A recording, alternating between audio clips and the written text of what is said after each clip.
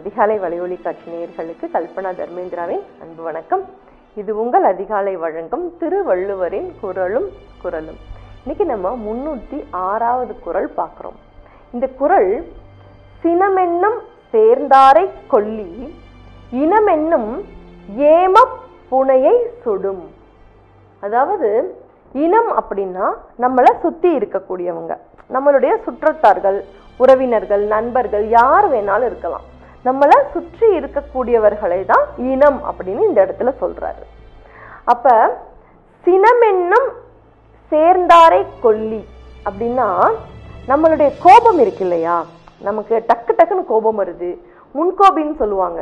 எதுக்கெடுத்தாலும் முன்கோபம். மூக்கு மேலே கோபம் வருது. ஒரு விஷயத்த பொறுமையா இது சரியா இது தப்பா அதெல்லாம் யோசிக்கிறதே கிடையாது.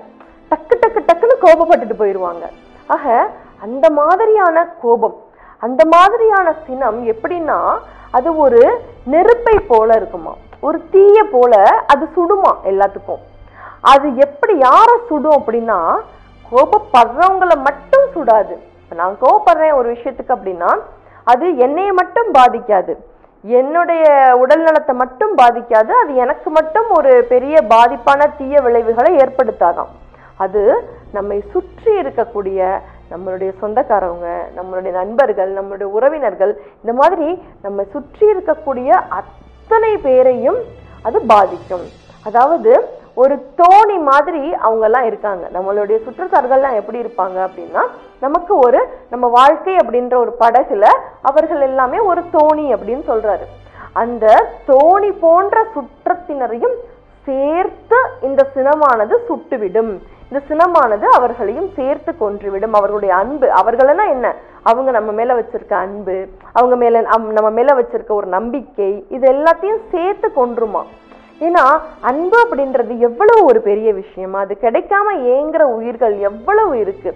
அப்படி இருக்கும்போது நம்மளுடைய கோபத்தால நமக்கு கிடைச்சிருக்கக்கூடிய அந்த அன்பான உறவுகளை அந்த நமக்கு கிடைச்சிருக்கக்கூடிய அன்பான நட்புகளை நம்ம என்னைக்குமே இழந்துடக்கூடாது.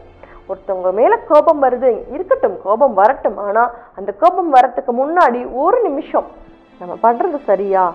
அவங்க மேலே நம்ம கோவப்படுறது சரியா? இல்லை அந்த கோபத்தை எந்த மாதிரி அவங்களுக்கு நம்ம வெளிப்படுத்தணும்? எந்த அளவில் வெளிப்படுத்தணும்? அப்படின்னு ஒரு அளவுகோல் வச்சுக்கணும். தேவையில்லாமல் தேவையில்லாம ஒரு சின்ன விஷயத்துக்கு கரா முறா காய்ச்சி மூச்சுன்னு கத்தி அவங்க மனசையும் புண்படுத்தி நம்மளும் புண்பட்டுக்கிட்டு அதெல்லாம் எதுக்கு? அதுதான் திருவள்ளுவர் இந்த குரல்ல அழகா சொல்லியிருக்காரு. சினமென்னும் சேர்ந்தாரை கொல்லி இனமென்னும் ஏமப் புனையை சுடும் அப்படின்னு. மீண்டும் ஒரு குரலில் சந்திப்போம். இது உங்கள் அதிகாலை வழங்கும் திருவள்ளுவரின் குரலும் குரலும். நன்றி. குரலும் குரலும். உலக பொதுமறையாம் திருக்குறள். காணத் தவறாதீர்கள் அன்பு நெஞ்சங்களே. ஒவ்வொரு நாளும் ஒரு திருக்குறளோடு உங்கள் அதிகாலையை உற்சாகமாக தொடங்குங்கள். நன்றி.